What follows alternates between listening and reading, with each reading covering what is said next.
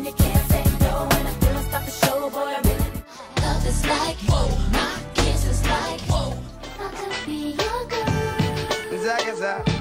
Those in power that want to abuse it and, and get off on abusing it definitely plot on their prey. Sometimes that doesn't translate as far as what you are allowed to have, what you have access to. You will be blackballed, you will be talked about, you will be shit on, you will be rumored about. All that sass, those incredible vocals, the smooth jams, and boy, Maya could belt out a ballad that would make you cry. You know that it's wrong. I can't let you.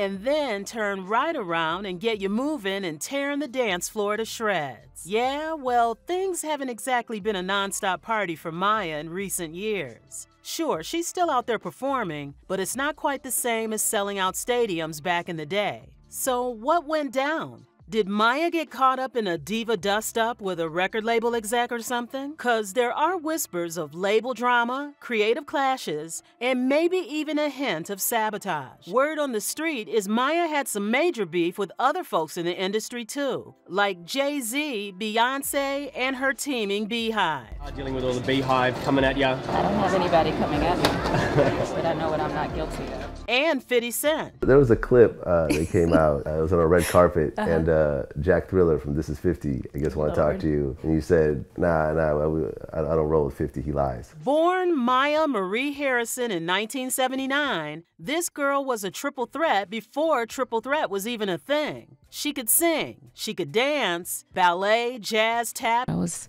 exposed uh, to the arts very, very early on in my childhood, and I was initially a tap dancer, a mm-hmm. hoofer. and You name it, and she could definitely work a camera. Now, Maya didn't just appear out of thin air. She started out on BET's Teen Summit, busting moves like nobody's business. But then, bam, she landed a record deal and dropped her first album, simply titled Maya. She had endured bullying because her father was black and her mom was white. So this album was all about love, growing up, and basically telling the world it's all about me. Which, by the way, was the name of her hit single featuring Dru Hill, Major Throwback. The album did amazing. Critics loved it, the people loved it, and Maya was on fire. She even had some killer collaborations with Beenie Man, Blackstreet, and Mase.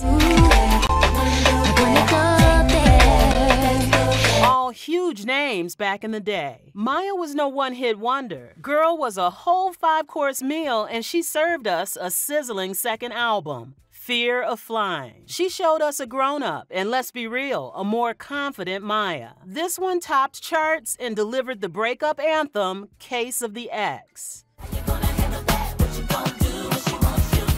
That song had everyone channeling their inner Maya and busting out those fierce dance moves with a trusty broomstick on the kitchen floor. Then came 2001, Legend Status. Maya teamed up with the Holy Trinity, Christina Aguilera, Pink, and Lil Kim, for a scorching Lady Marmalade cover.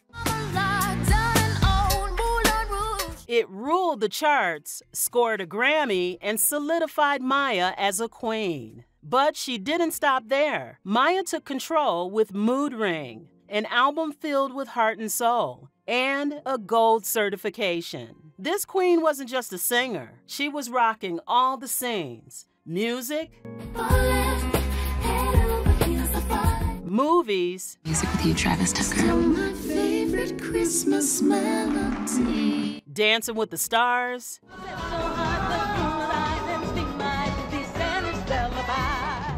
where she snagged second place, millions of albums sold, Grammys, MTV VMAs, Billboard even named her a top 2000s artist. Did you say iconic? Cuz we hear ya. You know, it's a playground for me. I love music. Music has always moved me and resonated within, um, no matter the genre.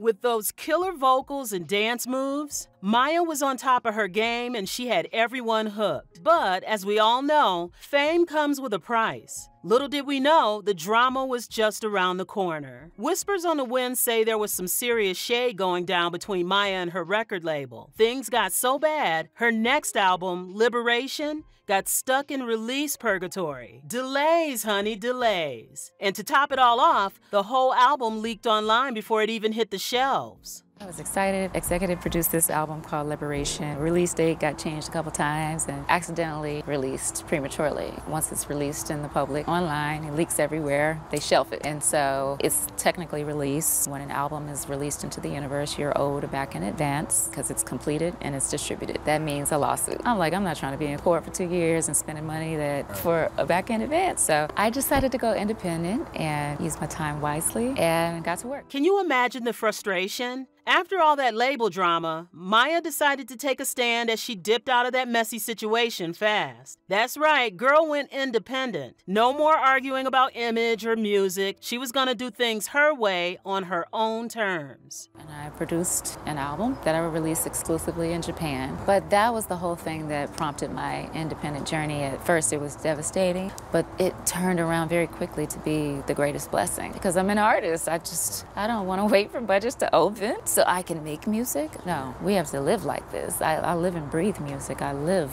No is not good enough for me, so I'm gonna find a way. Now, that is a queen who knows her worth. But the drama doesn't stop with the label. There were whispers of tension between Maya and Beyonce, allegedly over the whole Jay Z thing. What Jay Z thing? Well, we can't tell you what might have gotten the rumor mill spinning. Was it the matching jerseys? High school, the crossover, wave the way kicks. Music is the. Or maybe, just maybe, it was when MediaTakeout.com dropped a bomb during all that Beyonce and Jay Z cheating drama, managing to throw Maya into the mix somehow. They claimed that Maya had been Jay Z's secret girlfriend for 11 years, and that despite being married to Beyonce, rapper Jay Z didn't just have an affair with Maya, he was also bankrolling her. And then another website, Crazy Days and Crazy Nights, published an anonymous post that read When people talk about Jay Z and his mistresses, they often forget about a mainstay who has been there forever. Apparently, Maya was the low key mistress who hadn't had a hit song in ages. That whole drama got some folks in the BeyHive a little heated, and there were reportedly death threats in Maya's direction. Maya had to come out and publicly deny everything. I can't really speak on you know, what another person does,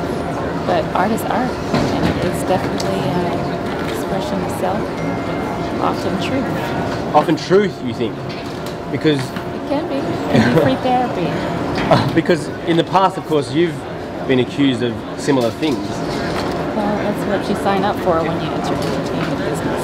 Absolutely, but it must be hard dealing with all the beehive coming at you. I don't have anybody coming at me, but I know what I'm not guilty of. Mya said, never did, never was, never will. Period. She threw some serious shade at what she called thirsty, illegitimate sources, spreading lies and made it clear she's an independent queen. Pays her own bills, runs her own label, the whole shebang.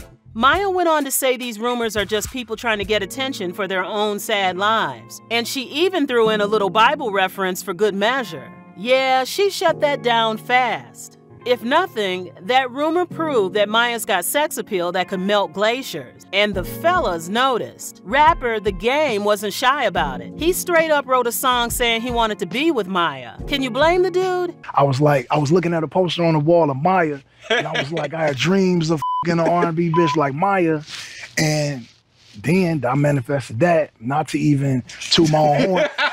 It's not, you know, because a lot of people would look at this and say, why you talking out the bed or why you pillow talking? Mm. It's because it's Maya. Mm. And it was like, she, I had, I had Maya posters back to back to back in high bro. school. So Maya when I, was so when I finally got to a point where I actually got to date Maya, it was a mm. thing. And still to this day, one of the most wholesome, beautiful, amazing singers, like just a classic person and a very she got a very big heart, man. And uh she gonna see it and be like, You staring? But you know, it's all good. She probably somewhere eating cantaloupe on the beach barefoot.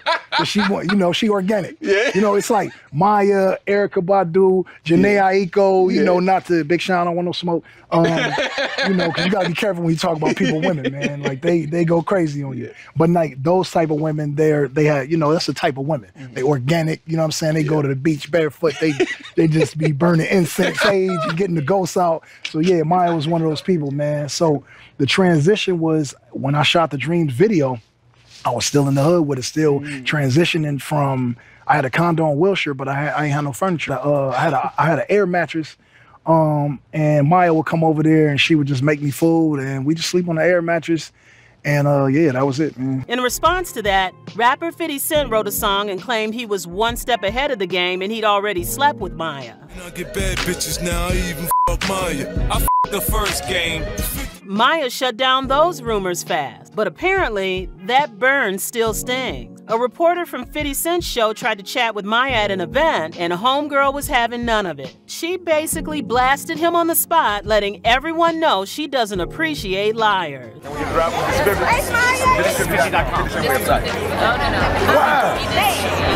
I mean, he was just bullshit.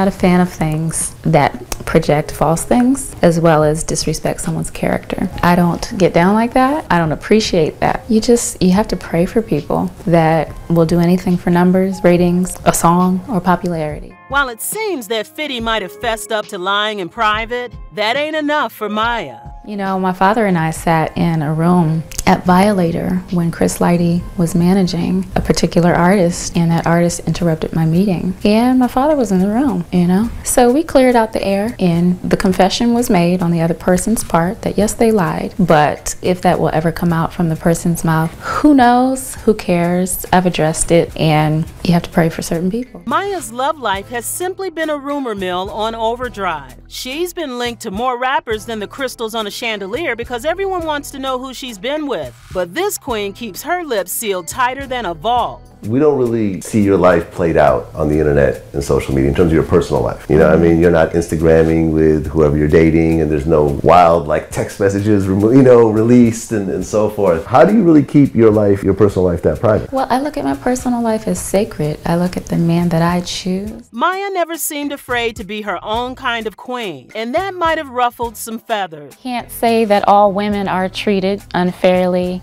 disrespectfully, but I can say that that happens all over the world in every or any industry in any circumstances, whether it be personal relationships, in business, etc. Maya faced some serious predators along the way, and if she didn't play ball, well, whispers say she got blackballed for not conforming. This is what I did. I said, no, I'm good. Thank you. No, thank you. So sometimes that doesn't translate as far as what you are allowed to have. Maya had a voice, talent, and a backbone, and that can be a scary combo for some folks in power. afraid of age as a woman or being manless. Crazy ideas, validation doesn't drive me. That's not the driving force in my life. And I've settled Right. in myself and I'm comfortable wherever I am, whoever I'm around. It's a feeling, it's an energy to own yourself. Maya kept it cute with the name dropping, but one thing's clear the industry was basically asking her to sell her soul for fame. Maya's response? Not be desperate. You have to be willing to say, I'm good. She started her own record label, Planet Nine. That name suggests that Maya just wants to be in a world of her own,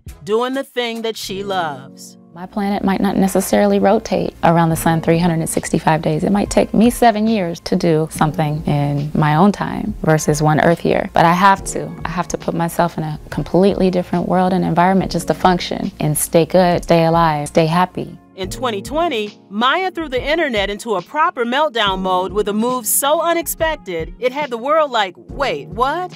Photos of Maya surfaced online with her on a beach in a wedding dress. But there was no groom in sight. Turns out, Maya had tied the knot with herself. Fans were left scratching their heads. Was this a publicity stunt? Was it a desperate cry for attention? Maya clears the air. There's this narrative and a lot of questions that have come about in my career, especially in my later career. Why are you not married? Why do you not have kids? There's been many proposals, etc. But what I want to convey was a different message. It was in the music video, and I think what happened in the press with just one picture and the fixation was shown. Oh, you're conceited. It's not what that's this is. Now people are asking me what my secret is. My secret literally is marrying myself spiritually and committing to myself in all areas of my life where maybe I was lacking. Even if it was for a music video, that move was all about self love and independence. And if we're being honest, Maya looked stunning in that wedding dress. I'ma look into your eyes, make it hard to keep it all inside. She totally owned the whole ceremony, even if it was just her and the ocean. If Maya loved herself enough to marry herself, you bet Homegirl is taking care of her body and giving it all the love it needs. People, when they ask me about going vegan, they ask me, how do I keep, especially the ladies, how do I keep my curve and vegan or plant based diet or even a raw vegan diet? And you can totally be a bodybuilder with a vegan diet and gain muscle because that's where some of the strongest animals get their protein directly from the store source. This goddess switched to a raw vegan diet, and let me tell you, the results are glowing. At 44 years old, Maya's out here looking like she discovered the fountain of youth and ain't sharing the location. Or maybe, just maybe, that raw vegan life is a real magic trick. Either way, this queen is serving ageless looks and fierce health vibes. Looks like we all could use a slice of that raw vegan pie. And while Maya may not be selling out stadiums, she's doing just enough to have an impressive net worth of 4 million. Maybe the industry tried to break her. Maybe she was blackballed, but Maya came back stronger, healthier, and more independent than ever. She remains a true inspiration, a reminder that even when the industry throws shade, you can go right ahead and create your own sunshine. Now that's a queen who deserves a standing ovation.